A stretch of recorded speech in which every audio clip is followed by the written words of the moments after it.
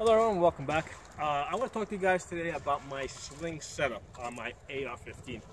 Um, what I find is most of the time when I'm actually training, I like having the, you know, the, the sling hooked up at the at the stock on the outside and uh, in front of the of the receiver over here. Okay, and, and the reason why I like it on the outside is, you know, if I want to do any transitions, it doesn't get in my way. If I if I move this to the inside where most people will put it. Okay, if I try to do a transition, this is going to choke me. Um, so that's one of the reasons why I, I keep this uh, QD mount on the outside. And I find that a good place for it to be. Um, now, one of the things I like about this rifle, this is a Radical that I bought. Uh, I bought it in 2016, early that year. Um, this rifle came with a rail that has QD mounting points um, built into the rail. So I don't have to attach any like uh, extra attachments. Uh, the holes are already in the rail and I can just take this and I can shift it to that position whenever I want. Uh, and the benefit of that is if you know by shifting it to the to the forward position, I can now just throw the gun over my back, and now the the, the sling is at the, at the uh, two widest points on the rifle, and I can do things. Um, you know, I can move, use my hands, and, and, and the, the weight of the gun is basically supported at, at, at you know two wide points, which makes it more controllable. Um, you know, and a, a, lot of times I'm at different locations, and, and, I'm setting up these you know different obstacle courses and you know um, uh, training scenarios.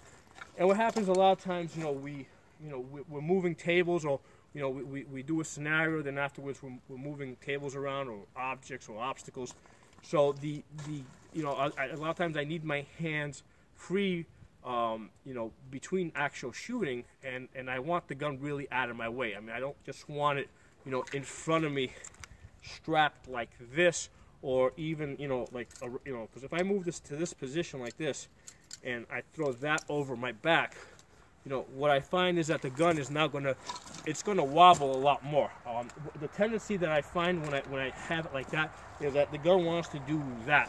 It wants to kind of fall off to the side uh, because it's not secured at, at the two floor points. Um, so I want that, the ability to be able to move this way up there. So now when I throw this over my back, it stays there. Okay, you know, it doesn't matter if I'm carrying stuff, if I'm, you know, you know, I mean, it, it's just it's just gonna stay there. Okay? That's, that's, a good place for it to be. Uh, and if I do want to shoot it, the gun is is usable. It can easily come around. I can easily come on target. You know, if I want to take my shots, boom, boom, boom, boom. You know, then if I get to cover, you know, I can quickly move this from there to there, where now I have a little bit more flexibility if I want to, you know, shoot on the other side, or come back to that side. Okay. Um, so on, so like I said, on this radical, the the rail came already set up with these mounting points, which, which I kind of love. Uh, this is not the original stock that came on this gun. There's a Magpul um, that you know that I bought that has the uh, um, a, a, socket for the QD mount. Um, at some point, I also uh, and did end up putting a a, uh, a QD an, an, end plate here that takes a QD mount. Um, and I, I, I was using this at one point. Uh, I ended up not liking this too much.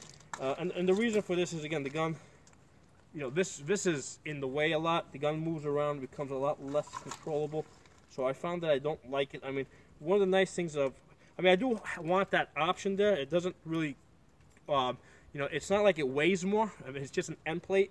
Um, and it does give me the ability, if I want to go to a single point, for whatever reason, like for example, if I'm going to be, you know, in, in, in the you know in a truck or in a van or something like that, um, where you know this this might be a little bit easier, um, you know, to you know to have like this. I mean, I don't like it. I don't like it because it tends to move around a lot and hit you, and you know. So, but but you know, it's not it's not a bad idea to have that end plate on the gun. I mean, the thing costs like I think a couple of dollars. Um, you know, basically you just put it in, you stake it in place, and it's just there. And you know, if you don't use it, you know, you won't even notice that it's there. You know, um, so so so that, that's how I like my rifle set up. And I use this gun not because it's the best gun um, that I have or the most accurate or the, you know.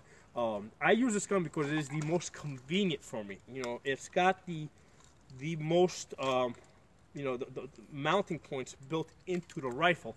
Um, and, and, and, and basically it's, it's convenient for me to use and to train with. Um, you know, so I end up using this gun the, the most, really, when I'm, when I'm training people. Um, now, one of the things to be aware of is that with these sockets, right, that, that, that are in the aluminum rail, aluminum is a soft metal. So over time, that is going to, the aluminum is going to wear, and these sockets are probably going to become unusable for this purpose at some point in the future. I don't know how, you know, I don't know if we're talking months or years or decades. I, you know, I don't know how long that will take, but but um, I know that I already had once uh, QD mount that went bad on me. Um, you know, that basically for whatever reason it, it just wasn't working very well, uh, and I had to, you know, basically I threw that out.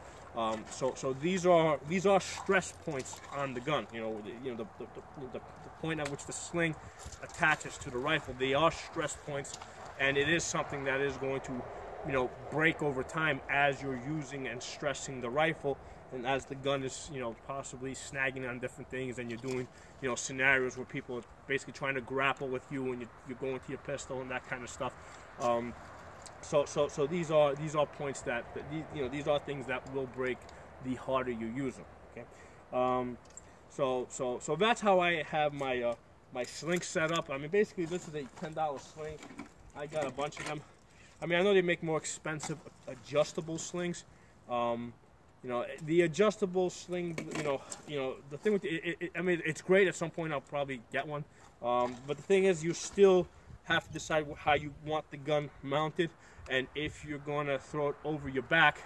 You know, again, it's the issue there is it has to the gun has to be mounted at the two widest points in order for it to be the most controllable. Okay, so so if you have the gun mounted at this point here, um, you know the you know that that that and you make the sling tight i mean you still i think that the gun is still going to be less controllable than if you just take this and move this up you know I, you know and then throw that over your back. You know i think that gun now is a lot more controllable um, you know so, so those are my thoughts on that.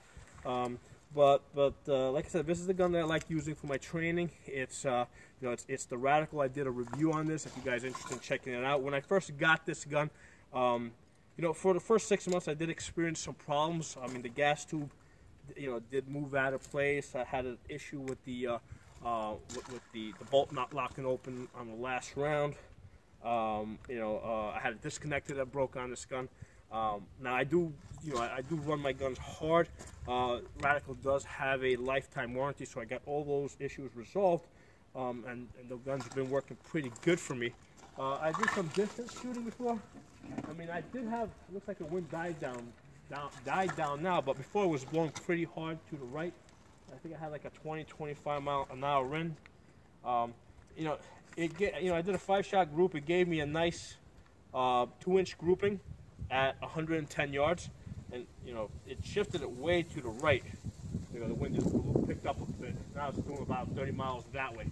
So that's probably what was happening. It shifted my grouping way over earlier.